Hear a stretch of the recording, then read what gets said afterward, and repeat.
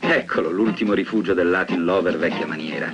Parolaio ed esibizionista, costretto a camuffarsi da hippie per rimediare la serata. Il night con l'orchestrina monopezzo e tutti quei senoni in bella mostra.